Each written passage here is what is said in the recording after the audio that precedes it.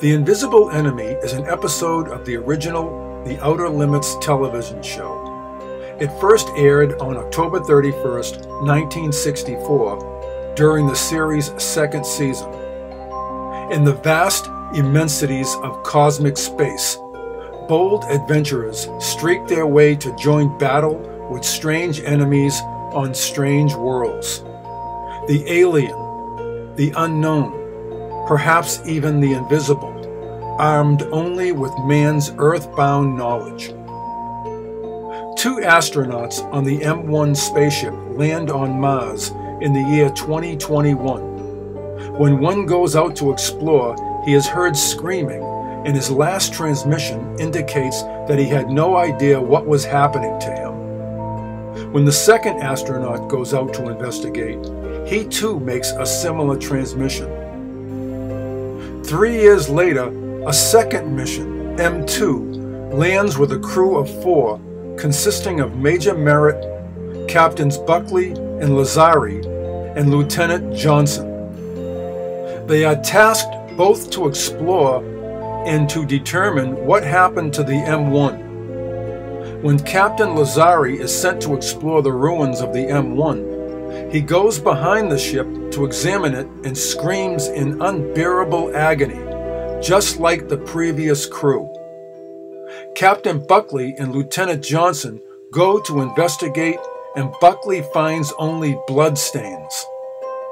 Johnson, armed with a nuclear bazooka, wanders off and disappears. The two remaining crew are ordered to stay within the confines of the ship in the last hours before takeoff. However, Captain Buckley has a vision wherein the planet's deserts appear as sand filled oceans. He then slips out to examine these oceans. While exiting the ship, he cuts his hand.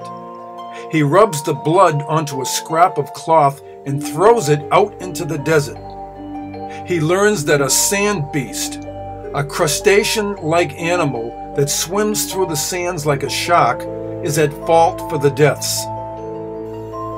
Major Merritt, the leader of the expedition, was asleep when Captain Buckley exited, but goes out to find him and becomes trapped on a rock when the sand beast pursues him.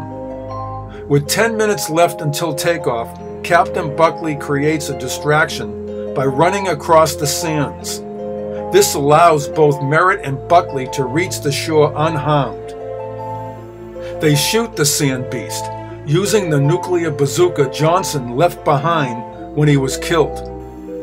The fatally wounded sand beast submerges beneath the surface, but five other sand beasts, drawn by the noise and blood of their dying kin, soon emerge. The two remaining astronauts realize there's a whole army of them.